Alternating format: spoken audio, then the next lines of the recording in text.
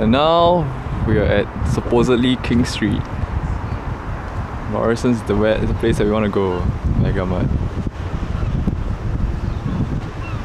City of Aberdeen. Uh, holy smokes, the wind is freaking mad.